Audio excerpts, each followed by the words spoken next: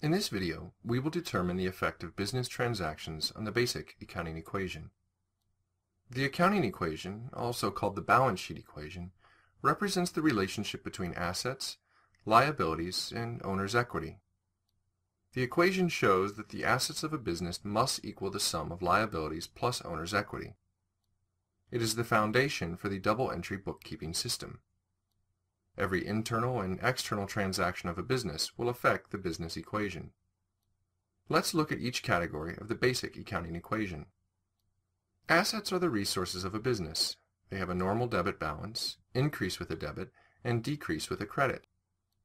Liabilities are the legal debts or claims of a business against its assets. They have a normal credit balance, increase with a credit, and decrease with a debit. Owner's equity is the ownership claim on the total assets of a business. It is equal to total assets minus total liabilities. It has a normal credit balance, increases with a credit, and decreases with a debit. In a business, owner's investments and revenues increase owner's equity. Both owner's capital and revenue have a normal credit balance.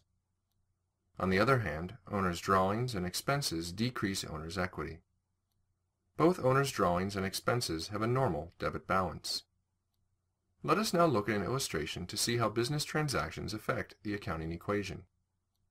Presented here are a few business transactions. We will indicate whether these transactions have increased, decreased, or had no effect on assets, liabilities, and owner's equity. In the first transaction, a business purchases supplies on account.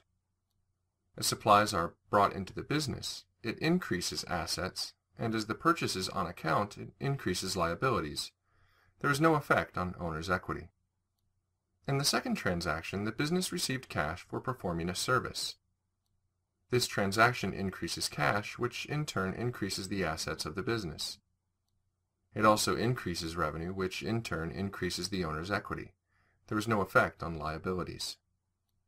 In the third transaction, the business paid accounts payable. When accounts payable is paid, it decreases liabilities. Since there is a cash outflow, it decreases cash, which in turn decreases assets. There is no effect on owner's equity. In the fourth transaction, there is an investment of cash in the business. Since there is an inflow of cash, it increases the assets of the business. Any investment brought into the business as capital increases the owner's equity. Thus, this transaction results in an equal increase in assets and owner's equity. In the fifth transaction, there is a cash withdrawal by the owner. Since there is an outflow of cash, it decreases the assets of the business. The cash withdrawal is in the form of disinvestment, which will decrease the owner's equity. In the sixth transaction, the business receives cash from accounts receivable. It reduces accounts receivable, which in turn decreases assets. On the other hand, it increases cash, which in turn increases assets. As there is an equal increase and decrease in assets, the transaction has no effect on total assets. Since only assets were affected, there is no effect on liabilities and owner's equity.